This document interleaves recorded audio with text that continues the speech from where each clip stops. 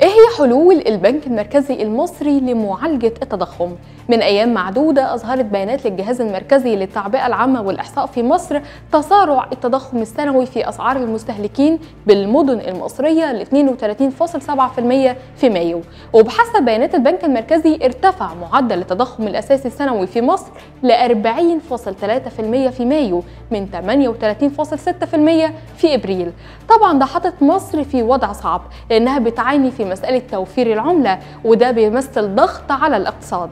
طب يا ترى إيه الحلول اللي ممكن تلجأ ليها مصر خبيرة أسواق المال حنان رمسيس قالت في تصريحات صحفية إن البنك المركزي ممكن يسمح للبنوك بإصدار شهادات ادخارية بفايدة أعلى وفي مقترحات بطرح شهادات دولارية بفايدة 10% لمدة 3 سنين للمصريين المقيمين بالخارج ومزدوجي الجنسية. خبيرة أسواق المال شافت أن الحلول البديلة المتعلقة بزيادة النقد الأجنبي بما في ذلك الصادرات وخفض النفقات وتقليص فاتورة الواردات ما بيوفرش حل عاجل لأن في التزامات لازم يتم الوفاء بها قبل نهاية يونيو الجاري. الخبير الاقتصادي دكتور حسام الغايش كان عنده رأي تاني متعلق بسعر الفايدة وهو أن ارتفاع معدلات التضخم وانتشار ظاهرة الدولارة ممكن يدفع البنك المركزي لرفع معدلات الفايدة بمعدل أعلى عند 200 نقطة أساس وده لمواجهة تلك الظاهرة علشان يسد الباب أمام السوق السوداء.